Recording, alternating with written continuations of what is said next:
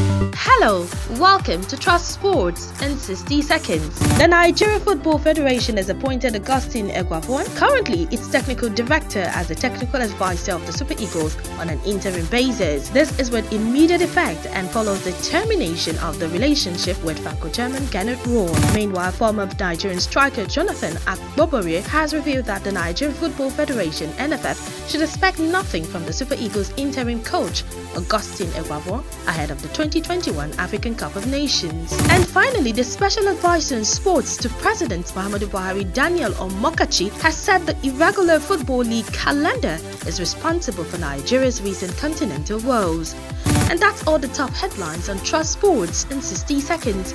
Do not forget to subscribe, like, and follow us across all our social media platforms.